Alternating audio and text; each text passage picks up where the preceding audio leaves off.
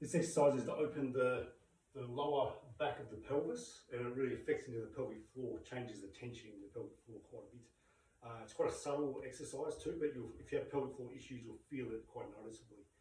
So what's really important is that you just use a roll-up towel or a, a small ball. Uh, using something too big won't get the same effect because it doesn't open the back of the pelvis properly.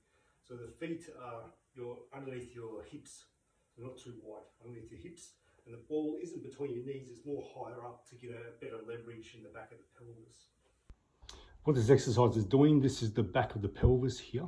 As I squeeze the ball together, so both femurs internally rotate a little bit here, which actually opens the gap here and opens the gap here when I do it both together.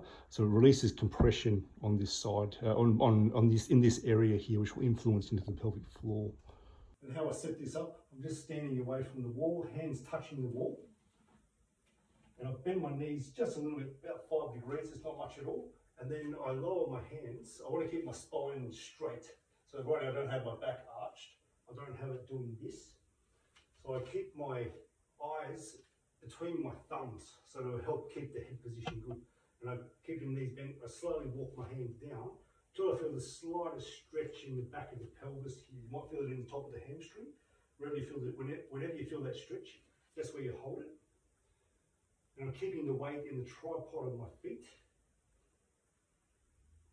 I'm just breathing now. So I'm breathing in through the nose, soft and easy, and out through the mouth. And just letting the air come out of the mouth. Then towards the end of the exhale, I'm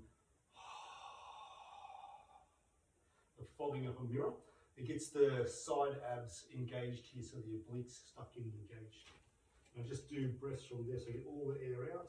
A nice, silent, easy inhale.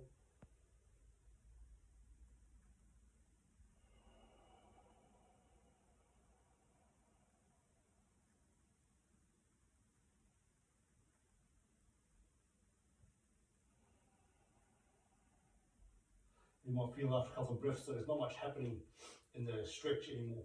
So then you lower yourself down a little bit more. There's not going to be much.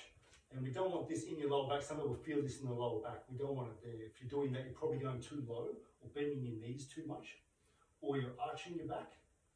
So we want to just feel that first bit of stretch here or in the back top of the hamstring. So we're just lowering down. Doing uh, sets, two sets of 10, 10 breath cycles.